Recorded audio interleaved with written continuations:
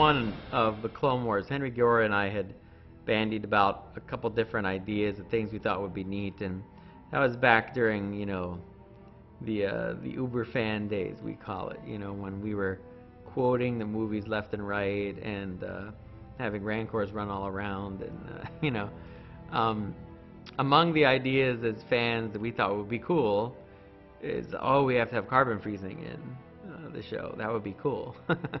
well, when we had the season three story meeting and we were working with George on coming up with how are these guys going to get through the Citadel you know, I remembered that Henry and I talked about this thing a long time ago. and I was like, well, what if they froze themselves and, and used carbon freezing to get through? I don't think this is working. Droids, of course, non-organics, could get past these scanners.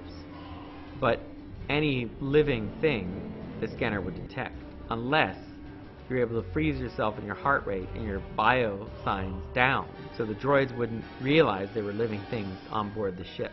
The shuttle has no life forms, Commander. Matt Michnovetz, who was writing the Citadel, you know, huge fan, was like, yes, that would be awesome. so, and George went for it. I mean, again, like, you have to have a reason to want to do these things too, and a good reason to do it. And it was a good reason, as it turned out, and it fit really well with the Citadel, so we put the idea of carbon freezing in there.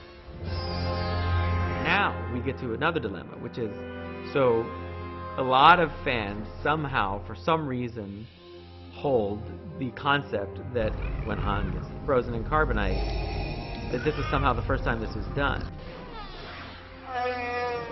Which I'm not sure. I'm not sure where that comes from because Vader somehow knows the facility is a crew on Cloud City, but it should be, you know, able to freeze Skywalker. Reset the chamber for Skywalker. So somehow he knows this process is going to work.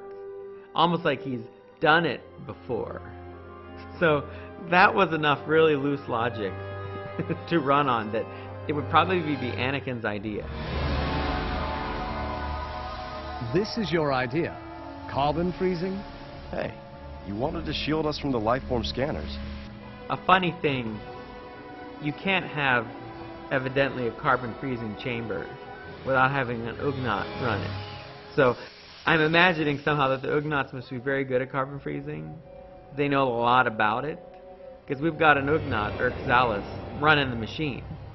You know, and I don't, you know, I guess maybe when you open the big box to install your own carbon freezing chamber, the Ugnaughts there. Maybe he delivers it. Um, maybe he's in the box. I don't know. But, uh, you know, it was a neat little nod back to Empire Strikes Back to have an Ugnaught there. Um, best carbon freezers in the galaxy.